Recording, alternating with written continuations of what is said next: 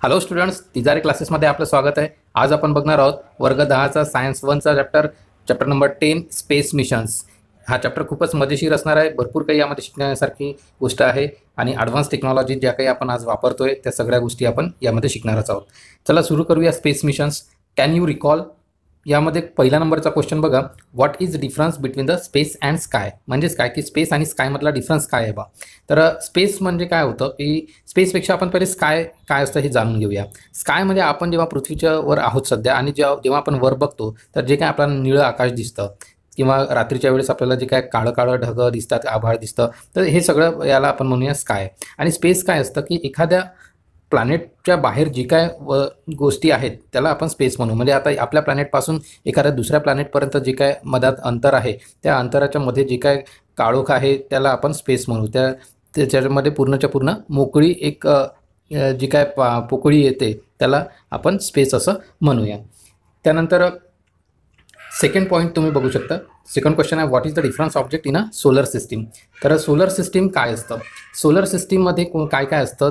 तर एक सूर्य असतो. एकापेक्षा जास्त सुद्धा ते असू शकतात काही केसमध्ये आपण जर आपल्या सोलर सिस्टीमची गोष्ट केल्या गेली तर आपल्या सूर्यमालेमध्ये एक सूर्य आहे. त्यानंतर काही प्लॅनेट्स आहे आठ प्लॅनेट्स आहे आपल्या इथे. आणि आपली पृथ्वी जी आहे ते तिसऱ्या नंबरचा प्लॅनेट असतो आपल्याला माहिती असेलच. आणि सोलर सिस्टीममध्ये आणखी एक गोष्ट असते ती म्हणजे सॅटेलाईट आता ही सॅटेलाईट जी आहे ती जर जसं आपला अर्थचा एक नॅचरल सॅटेलाईट आहे च मून तर हा जो मून आहे याला आपण नॅचरल सॅटेलाईट म्हणतो कारण तो पृथ्वीच्या अवतीभोवती फिरत राहतो. तर काय आहे की जो मेन प्लॅनेट असतो त्याच्या अवतीभोवती जर फिरणारा आणखी एखादा प्लॅनेट असेल तर त्याला आपण त्या प्लॅनेटचा सॅटेलाईट असं म्हणतो. तर प्रत्येकच प्लॅनेटला एकापेक्षा जास्तसुद्धा काही प्लॅनेट्सला सॅ सॅटेलाईट्स हे असू शकतात. आणि काही प्लॅनेट्स असे सुद्धा आहेत की ज्यांना एकही सॅटेलाईट्स नाही आहेत. तिसरा नंबरचा क्वेश्चन आहे what is mean by a satellite तर सॅटेलाईट काय असतं की एखाद्या प्लॅनेटच्या अवतीभोवती जर एखादी गोष्ट फिरत असेल आणि ती जर प्रॉपर त्याच्यामुळे काहीतरी इफेक्टसुद्धा होत असेल तर त्याला आपण म्हणूया नॅचरल सॅटेलाईट परंतु इथे फक्त विचारलेलं आहे की सॅटेलाईट काय असतं? तर फक्त सॅटेलाईट जर विचारलेलं आहे तर एखाद्या प्लॅनेटच्या अवतीभोवती फिरणारी गोष्ट म्हणजे सॅटेलाईट असं आपण तिथे म्हणू शकतो. तर सॅटेलाईट हे दोन प्रकारचे असू शकतात. एक म्हणजे नॅचरल सॅटेलाईट जसं आपल्या पृथ्वीला चंद्र हा एक आपला नॅचरल सॅटेलाईट आहे. तसंच आपल्या पृथ्वीच्या भोवती आपण काही आर्टिफिशियल सॅटेलाईटसुद्धा सोडलेले आहेत. आपण त्याविषयीच या चॅप्टरमध्ये डिटेलमध्ये बघणार आहोत. फोर्थ नंबरचा क्वेश्चन आहे how many natural satellites does the earth have म्हणजे आपल्या पृथ्वीला किती नॅचरल सॅटेलाईट्स आहेत? तर आपल्या पृथ्वीला फक्त एकच नॅचरल सॅटेलाईट आहे ज्याला आपण मून म्हणत असतो.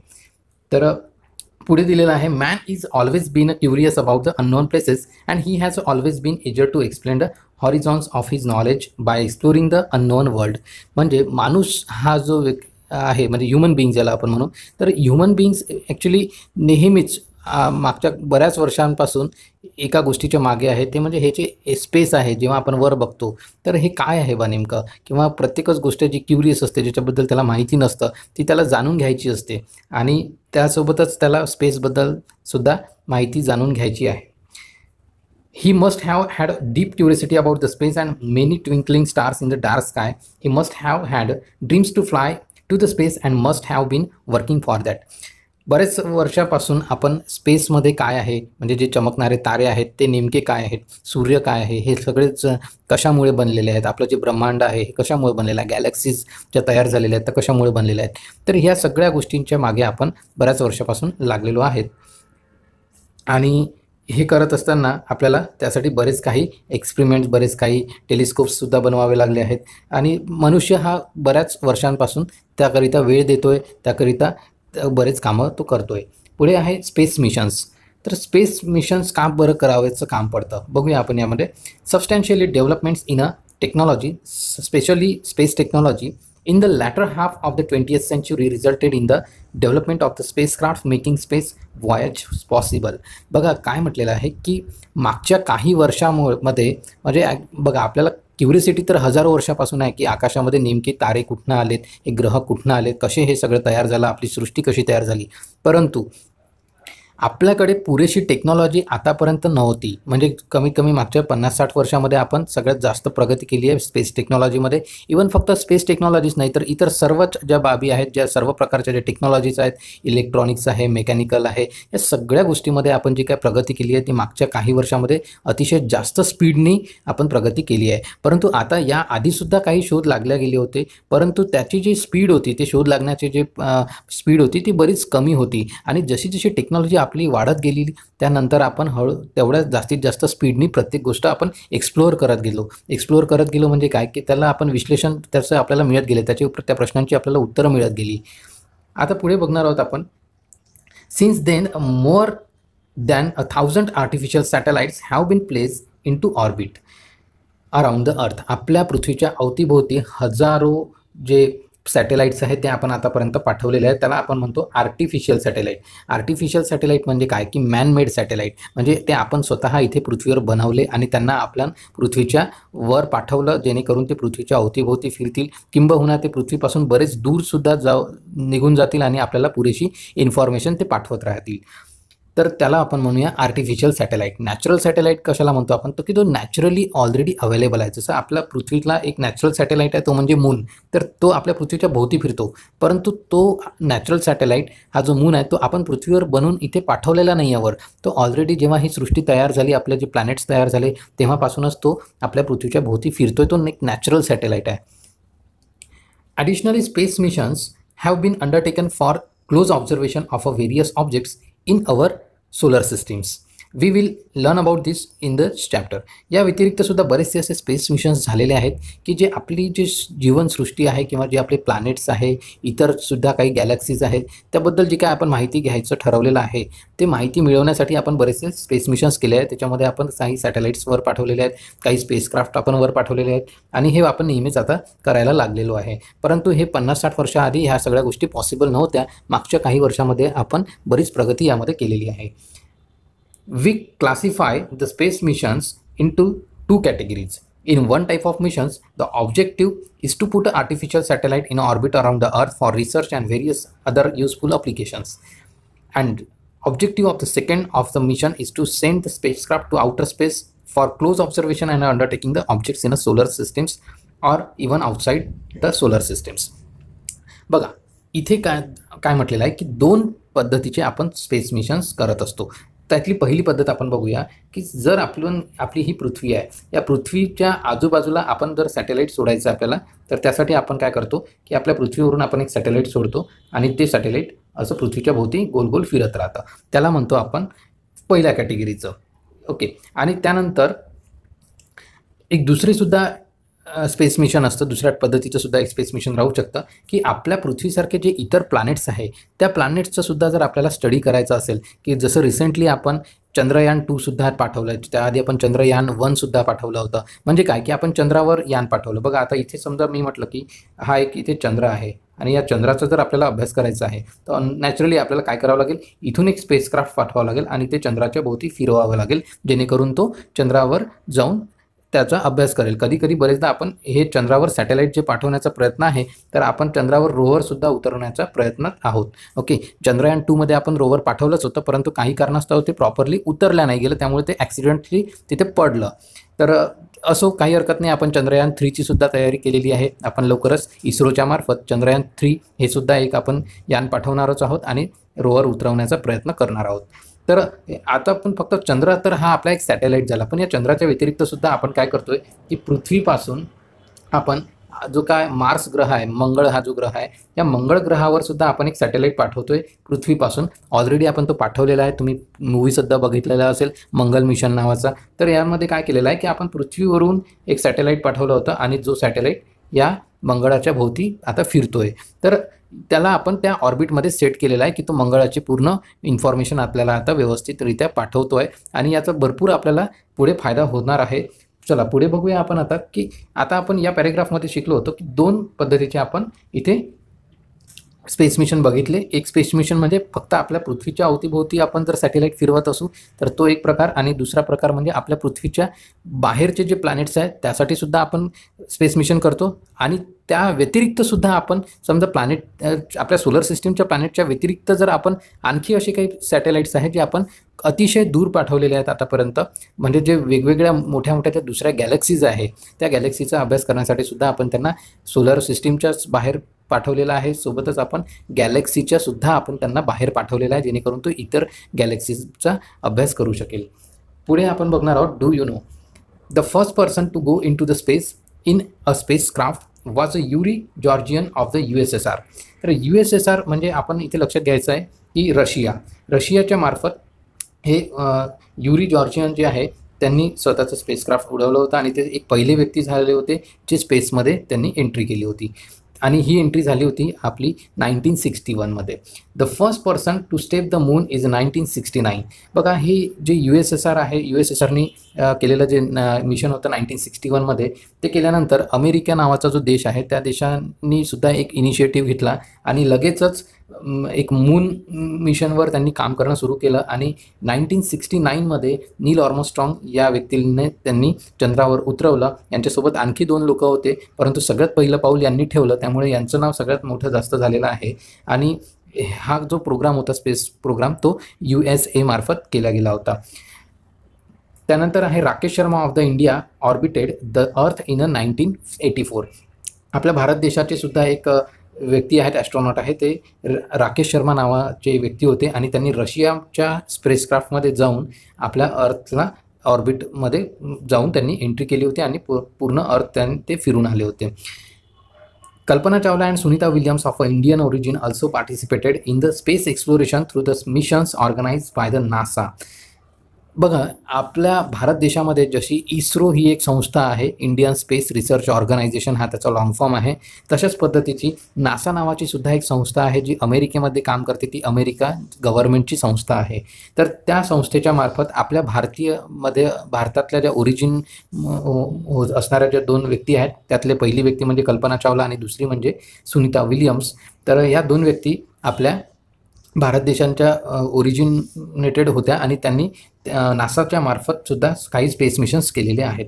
तर यापैकी कल्पना चावला मागच्या काही वर्षाआधीच त्यांची डेथ झाली होती जेणे जेव्हा त्या सोळा दिवसाचा अभ्यास करण्यासाठी पृथ्वीच्या भोवती स्पेसक्राफ्ट घेऊन गेल्या होत्या. त्यांच्या एका टीमसोबत पूर्ण सहा सात जणांची त्यांची टीम होती. परंतु त्यांचं जेव्हा स्पेसक्राफ्ट पृथ्वीवर परत येत होतं तेव्हा वातावरणाच्या दबावामुळे आणि स्पेसक्राफ्टमध्ये असणाऱ्या एका छोट्याशा चुकीमुळे त्यांचं जे स्पेसक्राफ्ट आहे त्याला ब्लास्ट झाला होता. ते जेव्हा स्पेसक्राफ्ट इथनं पृथ्वीवरून निघालं होतं तेव्हा ते निघता निघता हलकंसं डॅमेज होऊन गेलं होतं त्यामुळे जेव्हा ते परत आलं तेव्हा तो डॅमेज त्यांना इतका जास्त भारी पडला की त्यांना स्पेसक्राफ्ट जेव्हा ते उतरायला आलं तर जसं ते वातावरणाच्या कॉन्टॅक्टमध्ये आलं त्याचा ब्लास्ट होऊन गेला.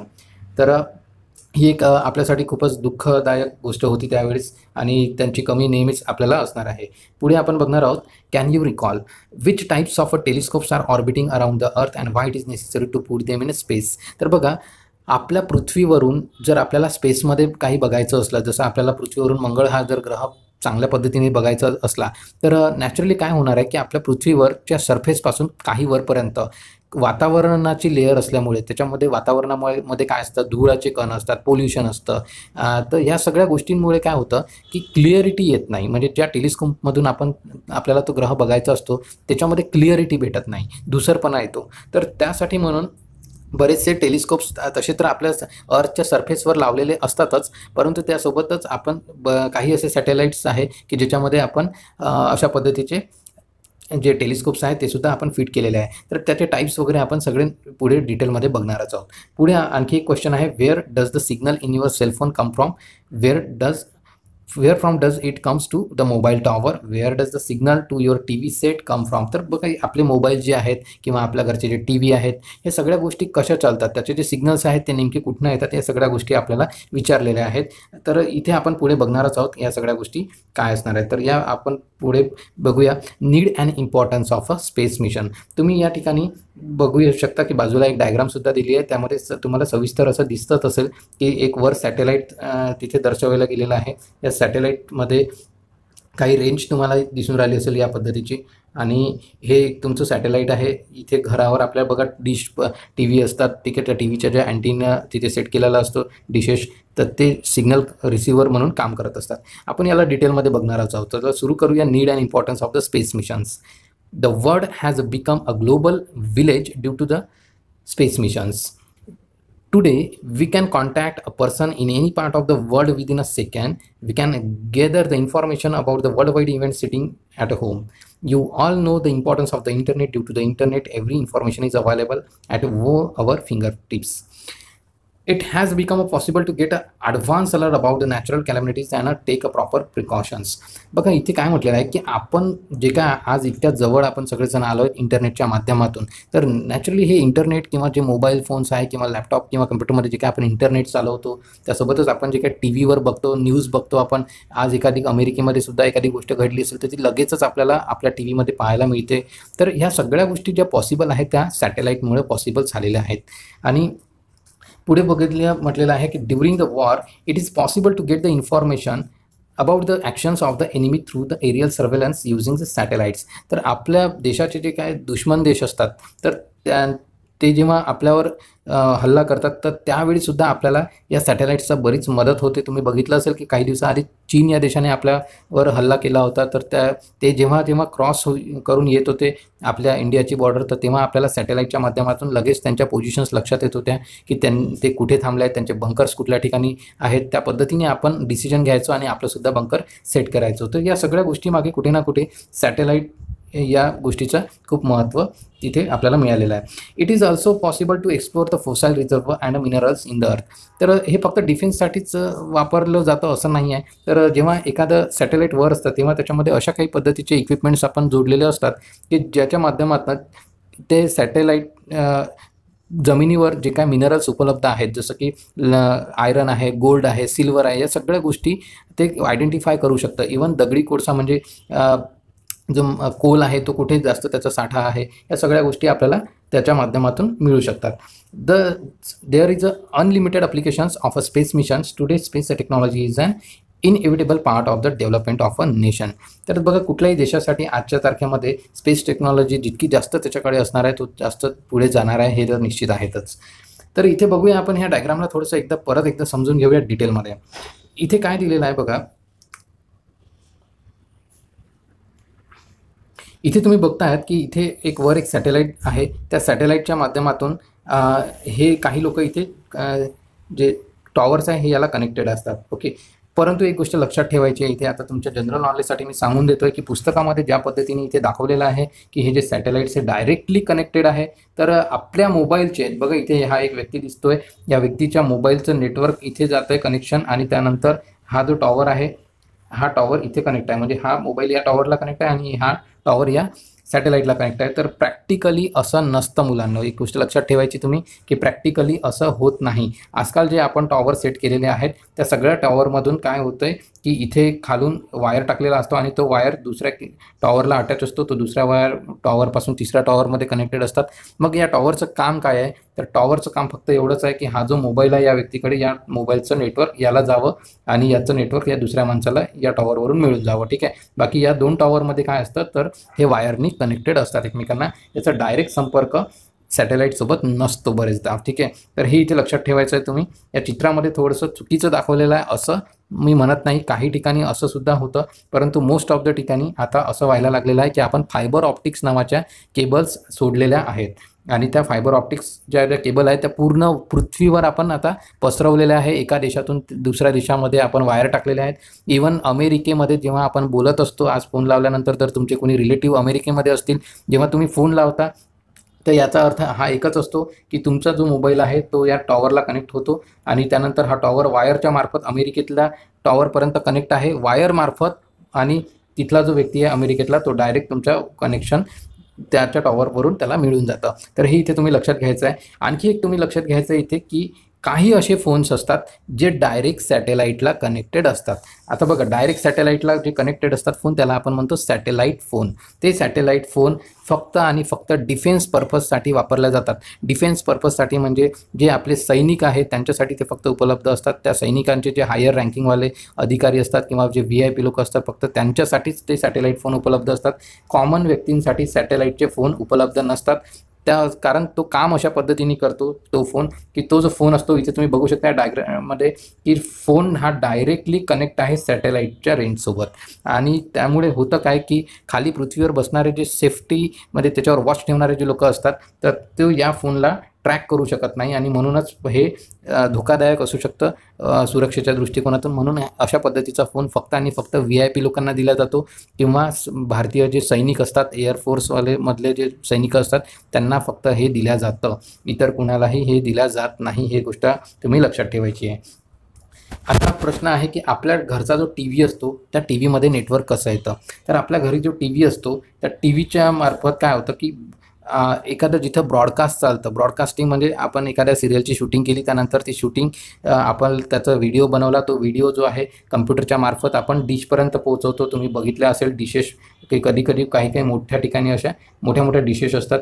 त्या डिशेसमध्ये आपण हा डेटा सोडून देतो. त्याला एक सिग्नल देण्याचा एक पार्ट असतो. तो सिग्नल डायरेक्ट वर चालला जातो सॅटेलाईटवर आणि त्यानंतर तो सगळीकडे पाठवून देतो सिग्नल सॅटेलाईटच्या मार्फत. आणि त्यातले काही सिग्नल घरावर सुद्धा जाऊन पडतात आणि त्यानंतर त्या डिशमार्फत आपल्याला तो टी व्ही दिसत असतो त्या सिरियल्स आपल्याला दिसत असतात. तर या काही गोष्टी आहेत ज्या आपल्या आजच्या तारखेमध्ये महत्त्वाच्या ठरतात आपल्याला माहिती असण्यासाठी. यावर एक सविस्तर व्हिडिओ आणखी नक्कीच मी बनवून तुमच्यासाठी. तर मित्रांनो याच्या पुढचा पार्ट आपण बघणार आहोत. आर्टिफिशियल सॅटेलाईट त्यासाठी तुम्हाला बघावं लागेल. या चॅप्टरचा पार्ट नंबर टू तर तिजारे क्लासेस हे यूट्यूब चॅनल नक्की सबस्क्राईब करा आणि तुमच्या मित्रांनासुद्धा शेअर करा. व्हिडिओ आवडला असल्यास लाईक करा कमेंट करा आणि तुम्हाला काही आणखी नवीन व्हिडिओज हवे असतील तर ते सुद्धा मला कमेंट बॉक्समध्ये लिहून पाठवा. मित्रांनो कमेंट्स यासाठी लिहायचे आहे की जेणेकरून मलासुद्धा एक उत्साह बनून राहतो. मलासुद्धा माहिती पडतं की मी जे शिकवतो आहे ते तुम्हाला समजतं आहे पुरेसं आहे की आणखी त्याच्यामध्ये काही ॲडिशन करायचं आहे. तर नक्की तुम्हाला व्हिडिओ कसा आवडला याचे कमेंट्स नक्की पाठवा मला लिहून. Thank you so much